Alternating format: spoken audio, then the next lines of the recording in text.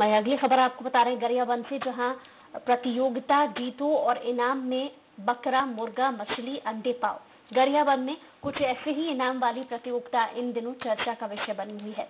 यहाँ आपको बता दें कि बस एक कबड्डी प्रतियोगिता जीतनी है, और यदि आप जीत गए तो ये सब आपको फ्री में मिल जाएगा क्योंकि यहाँ आयोजकों ने प्रतियोगिता के विजेता खिलाड़ियों को कुछ इसी तरह के इनाम देने की घोषणा कर रखी है। दो दिवसीय ये प्रतियोगिता कल से शुरू हुई और आज इसका फाइनल होना है। जैसे ही सोशल मीडिया पर इस प्रतियोगिता की जानकारी वायरल हुई तो सबसे पहले क्षेत्र विधायक अमितेश शुक्ल ने मुख्य अतिथि से अपना नाम वापस ले लिया। यही नहीं, विधायक ने आयोजन समिति पर उनकी छवि धूमिल करने का आरोप भी मर दिया। चंद्राकर की स्मृति में कैसा चंद्रा के तहत में एक कबड्डी प्रतियोगिता रखा गया हूँ जिसमें भाग लेंगे कम से कम 120 तीस टीम के आसपास में है।